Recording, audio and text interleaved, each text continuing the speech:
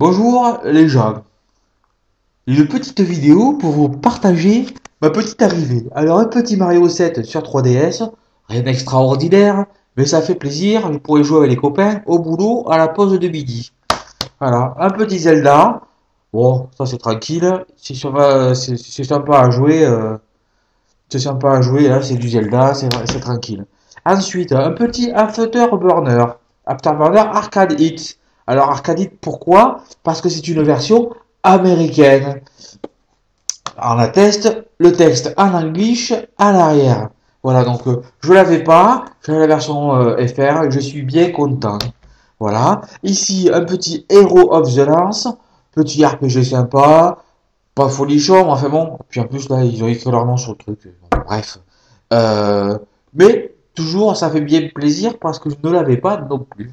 Et enfin, le dernier jeu Master System que je cherchais depuis un petit moment, le Psycho Fox. Voilà. Pour information, je l'ai en loose. Si ça intéresse quelqu'un, vous pouvez laisser un commentaire.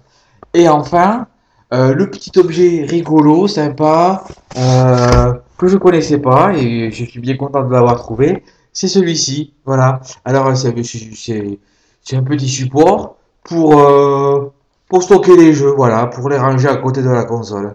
Bien sûr, ça va rester dans la boîte parce que c'est tout neuf. Voilà.